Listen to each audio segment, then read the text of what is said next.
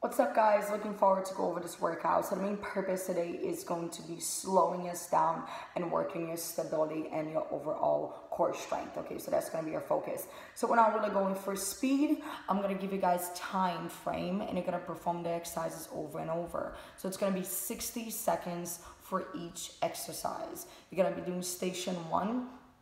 It's gonna be five different exercises. You're gonna be doing 60 seconds of each. Then you're back to the top and you're doing the same thing again.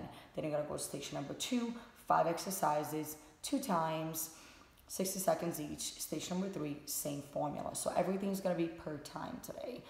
Okay, so we're gonna start on the first station and we're gonna start with kettlebell swings that I know a lot of you guys have done it. So I'm not gonna spend too much time, so quickly let's review that.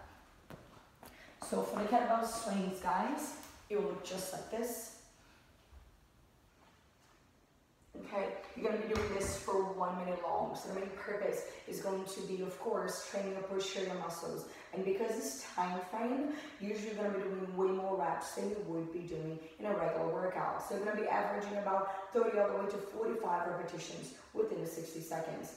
Biggest cues, just make sure your chest is up, long spine, shoulders down, and if the 60 seconds is too long for you, after 30 seconds, put it down and then pick it up again whenever you guys are ready, okay? So I'm gonna put this aside for now. Then after that, guys, you're gonna go into your kneeling single presses.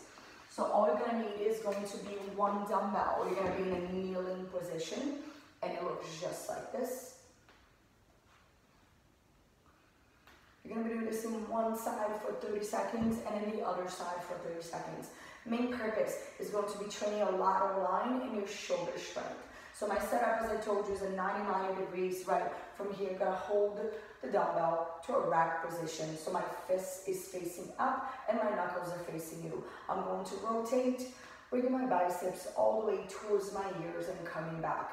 Like I said, after 30 seconds, you're gonna alternate to the other side, okay? Biggest common falls are gonna be elevating the shoulders too much. So make sure your shoulders are nice and away from the ears and your arms are very long. Progression is going to be, able to increase load. So this is a perfect way for you guys to work on your shoulder strength without putting too much pressure on your shoulders. So you guys are going to be doing one side and then the other side to um, really regress the movement. It's just going to be reducing load. So if you're not very strong in one side, don't go as heavy as you usually would. Okay, if you're very strong through your shoulders, then you can definitely increase your load. Next one, we're gonna be working with your bands, okay? So for your bands, guys, um, we're gonna, we've done this actually once before in another workout, something very similar. So you're gonna step the feet on top of the band, and I'm gonna cross it over. The exercise is gonna look just like this, team.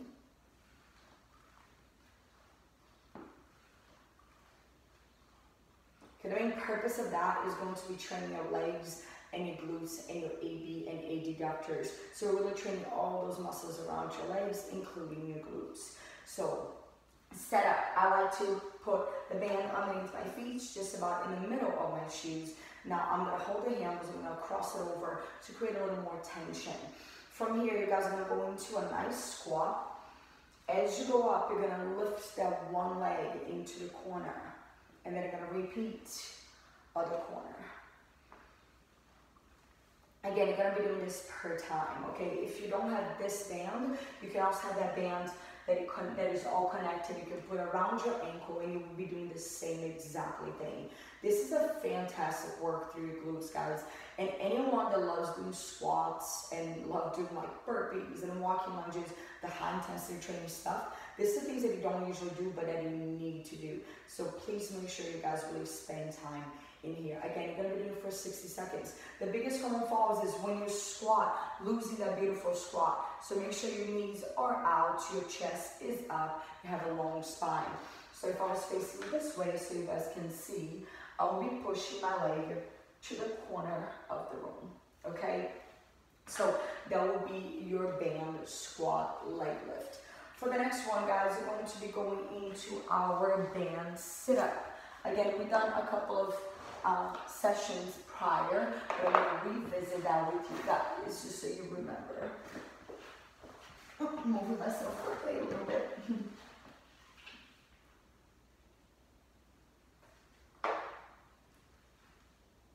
Okay, main focus of that guys is going to be training your abdominals and of course control into your lower back.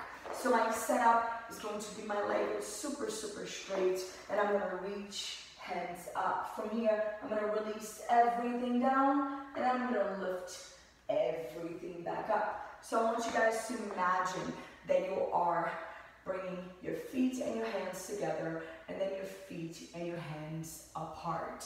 That way you can really be trained to your anterior and your posterior core. Cues, again, just make sure you guys have a nice long spine. So you're not moving your neck, you're just moving your body as one unit and then you're slowly releasing that body far apart. Okay, so that will be your band V-sit, guys. Next one, we're gonna be going into your dumbbell.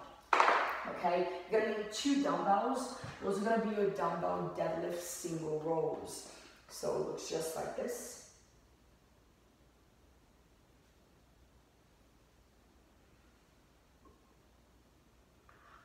Alright guys, the main purpose of this is going to be training your hamstrings and training your upper back muscles, okay? So we do a lot of pushing, we need to make sure we pull as well. So my setup for this guys is going to be my feet underneath my hips, nice long spine. I'm going to go into my deadlift.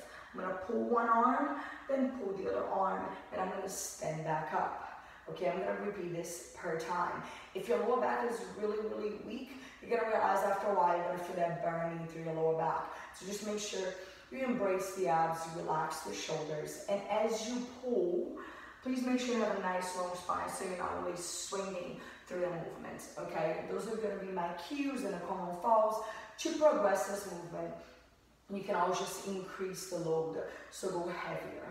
All right, so I'm gonna quickly go over again what we just went over, guys. First station, you guys are gonna start with that kettlebell swing. After the kettlebell swing, you guys went straight into your single presses, right? In one side and single presses in the other side. Then when you guys finished with that, you had your band squat with the leg lift. Then you had your band sit up. Then you finished up what we just did, which was your dumbbell, oh, sorry, your dumbbell deadlift single rows. That will be your station number one. Now we're gonna go station number two. Station number two, we have one arm kettlebell swing. So I know we've done it, but let's revisit. And the main focus of that is going to be training through your posterior chain, of course, your lateral core. Set up, I went over this yesterday, is going to be having a kettlebell facing this way. You're going to be swinging the kettlebell in between your legs, lifting, and then alternating the hands. If you don't like alternating, stay on one side, going to the other side cues, just make sure you have a long spine so you're not arching through your back and embrace the abs. The abs is what's actually gonna stop that kettlebell from going too high, okay? So really suck that belly in. After that, guys, we're gonna go into your side plank, which look just like this. You're gonna be doing one, one side for 30 seconds, and then you're just gonna alternate to the other side for 30 seconds. Main focus, guys. Every single muscle that is close to the floor is gonna be our focus. So we're gonna focus on the stability through your shoulder. We're gonna be working, of course, on that lateral line, okay, that is nice and close to the floor. So my setup, first I put my feet together, okay, one on top of the other, and then I'm gonna lift my hip, hands are up. From here, I'm gonna try to either stay here. If that's already very intense for you, you can stay here. If not, you can also progress by lifting the top leg. If by doing any of those two, you're sinking the hips too much, all you have to do is put your knee down, extend that leg, and arm stays up. You're gonna get the same effect, but with less intensity, which is totally okay if that's what you guys are today, okay? Like I said, you guys are gonna be doing this in one side, then you guys are gonna be doing this in the other side. For the next one, guys, we're gonna be going into your dumbbell squats, okay? Dumbbell trunk squats. So I'm gonna be holding the dumbbell on one side and it's gonna look just like this. I'm going to be doing this in one side and then in the other. The main focus is going to be a very similar focus that we actually worked on that band with your squats. We're going to be training your abductors and your abductors and we're just adding a little more load to train your lateral core. So my setup is gonna be my feet underneath my hips. I'm gonna have the dumbbell nice and close to me. Now, my left toes are gonna be facing you while my left, yeah, while my right is gonna go to the corner. I'm gonna sit down or as low as I can with my chest up, come back in, and then maintain the same side. Once I'm done, I'm gonna switch to the other side and do exactly the same thing. We're gonna be doing this for 30 seconds in each side. If you prefer alternate, that's okay, but it's just a little awkward moving from side to side. So I prefer staying one side and then going to the other. The biggest common flaws are, you know, not working properly on your squat. So make sure you know everything that I talked to you guys before. Knees out, chest up, long spine. To progress this movement, you can simply first work on your range of motion, increasing range. Second, you can increase your load. I prefer not to go fast. I prefer just increase load and range for this particular exercise, okay? Next one, guys, is going to be our Swiss ball alternating legs. So some of you guys done this before, and I quickly review again. If you don't have a Swiss ball, guys, there's no issues at all. You can simply use it with just your hands, okay? So I'll show you guys with the Swiss ball.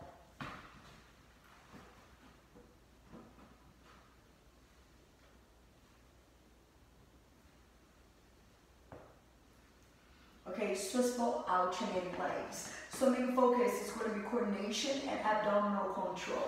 So my setup is going to be holding the Swiss ball with my feet and with my hand at the same time. So I'm lifting my shoulders, lifting my head. From here, I'm gonna choose one arm and my opposite leg is gonna go down together with my head. I'm gonna come back in, lifting my shoulders, and I'm gonna alternate. Okay, if you don't have a Swiss ball, you would just use your hands and you would alternate down and up. Now the reason why the Swiss ball is so good is because it makes you squeeze your thighs together. That means you're gonna have, of course, more engagement through your adductors, the muscles in the inside of your thighs.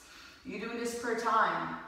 Biggest common falls is going to be not lifting your head when you're crunchy. So make sure you guys lift the head, almost like you're gonna go get the ball. Okay, so those will be my cues. Can you go get the ball with your hands? Not bringing it to you, actually going to get it with your hand. Biggest progression is going to be be able to actually drop your leg really low. So if I'm here, okay, dropping the leg really low and your hands and your arms really straight and then going up to get it. By dropping the legs low, you're also training your lower back muscles, and that's definitely something that we want to work on. Okay, the next one, either you're going to be doing your Swiss ball plank, okay, or you're going to be doing your kneeling rollouts. If you have this at home, that's what you're going to be using. If not, you're just going to be doing a Swiss ball plank. So for the Swiss ball plank, it will look just like this. It is what it sounds like. It's just a Swiss ball plank. Main focus is going to be your abdominals and your shoulder stability, okay? Setup is going to be your forearm on, sorry, forearm on the ball, thumbs are facing up, and toes just about outside of the hips, shoulders down away from the ears. Now, if you have the kneeling rollout, if you have this, you can be using as a kneeling rollout, which will look just like this. right? And I'll show you the side view as well.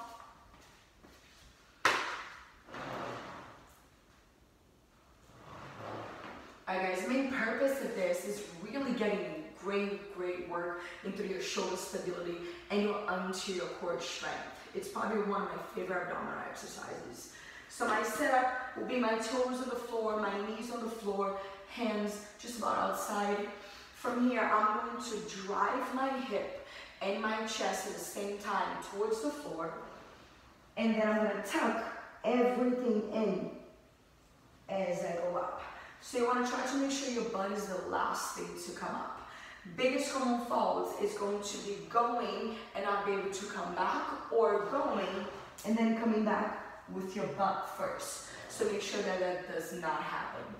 Biggest progression is going to be what I just showed you guys, is range of motion, be able to actually go really far. Regression, it means if you can't go that far with control, reduce the range of motion, don't go as deep, okay? So cues, just make sure you guys really tuck your abs and your butt in so everything is nice and stable. All right guys, so that was the last exercise of your station number two. So we had your one arm swing, then you guys also had those side planks, right? We did side planks on the right, we did it on the left as well. We had those dumbbell trunk squats, you did it one side and the other. Then you had the Swiss ball exercise, those one leg sit-ups. And then we finish up with either your Swiss ball plank or those kneeling rollouts.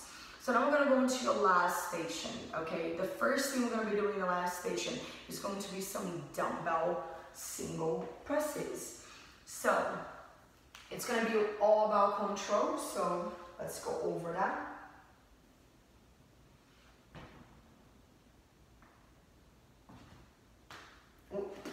Wow, I see the Swiss ball and I almost fall. So let's try that again. It's like the Swiss ball is alive today. There we go, that's better. All right, guys.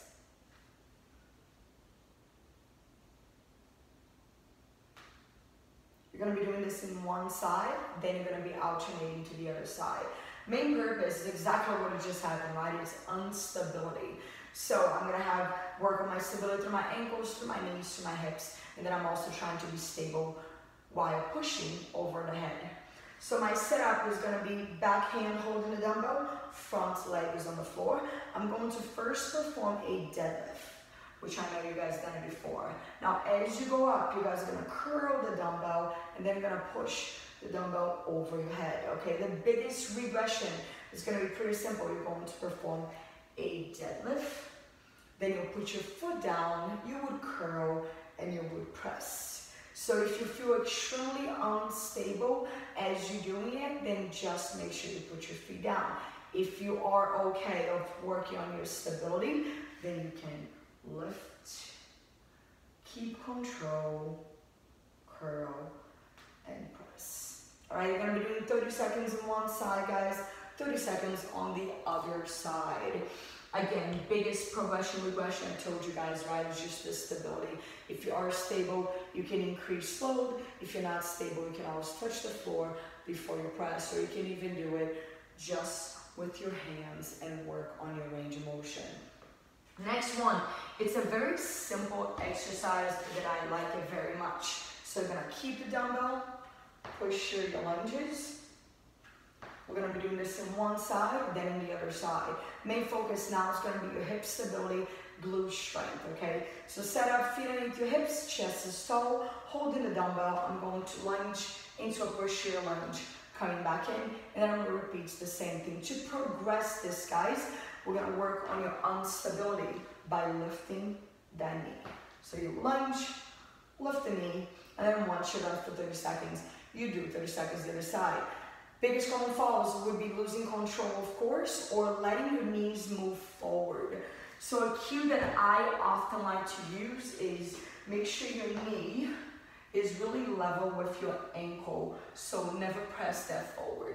Okay, so those would be the common falls in my cues. To progress, you can simply increase that load. You can grab a kettlebell if you want, or increase the dumbbell, or you can just lift the leg, as I told you guys. Next exercise, guys, is going to be your plank rows. I really like this. It's very simple, but it's a very beneficial exercise. So it looks just like this.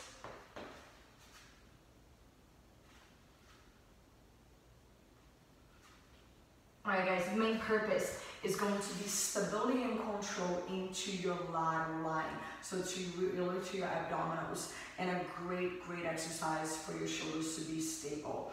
So I'm to start in plank position, a nice long spine, flat back. And from here, I'm just going to be lifting my hand, palms facing, sorry, palms open. And I'm going to lift that hand towards my chest. So from that plank, I'll bring my hand towards my chest, slowly come back down towards my chest and come back down. Again, nice long spine will be my cues. Biggest progression will be closer your feet is together, harder it will be for you to maintain control. So if you're out of control, bring your feet, meaning if, your if your hips are out of control, uh, bring your feet a little bit wider. If not, then bring your feet a little bit closer together so you have great stability. For the next one, guys, we've got two more exercises to go. You guys are gonna go into your dumbbell crunches, which looks just like this.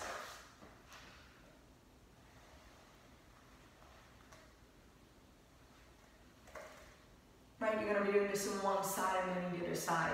Main focus of that is actually not really just abs. It's really training into your, all your posterior muscles. So the muscles in the back of the shoulders to be stable, and also the muscles just about underneath your wings. So my setup is whatever knee is bent, that is the dumbbell that I'm holding on that same side.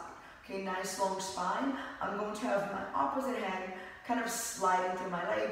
I'm gonna release myself down and then I'm gonna lift myself up. Again, 30 seconds on the right, 30 on the left. If you're not used to doing this movement, please take the weight away. You can simply use your hands and keep it over your head and you're still gonna get a great workout. If you realize that your shoulders are very stable and you're feeling very, very strong, you can always increase the load to create a little more pressure into your abs and to your posterior muscles as well. Last exercise, guys, is going to be as simple as a side raise. So I'm gonna have only one dumbbell, and the reason why I do this is I can really focus on my unilateral strength. So side raises, look just like this. I'm gonna be doing 30 seconds on one side, then I'm gonna be doing 30 seconds on the other side. Main focus is going to be isolating the medial part of your shoulder, so your medial deltoids, okay? We push a lot, that is your anterior. We were pulling a lot today, that is your posterior. Now we're gonna be working on the lateral.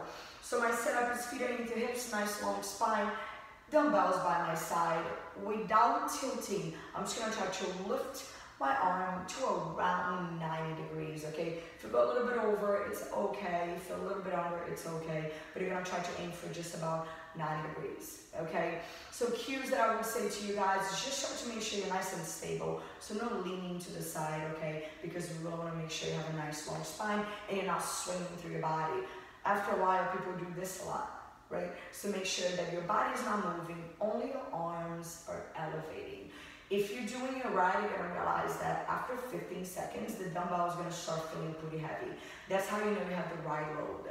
So progression, regression, guys, is going to be your load, okay? I like to go pretty light on those side, um, those lateral shoulder, you know, uh, elevations, just because I know that I wanna control the movement. So those will be your progressions and regressions of this exercise. Team, so that was your low impact um, workout. It is very, very nice. I did this workout earlier today. Uh, I loved this stability through my shoulders, through my ankle. I got some great abdominals training as well. You can be training the same way every day, right? So I know a lot of you guys are getting seven days of a workout. It does not mean that you have to use seven days in one week. It just means that I'm giving you different options so you can apply to your daily workout and so you can figure out how you feel sometimes too, you know. If you did a really long run, it might be a good idea for you to do a workout like this. If maybe you didn't do a long run or you did some bike riding, maybe you can do some high impact in the same exactly day. So, and then of course, take your days off when you need it. Anyways, guys, um, it's great to spend time with you guys, although I'm not seeing you, but you're seeing me. And I'm looking forward to see you guys again. All right, so get ready in three, two, one, go.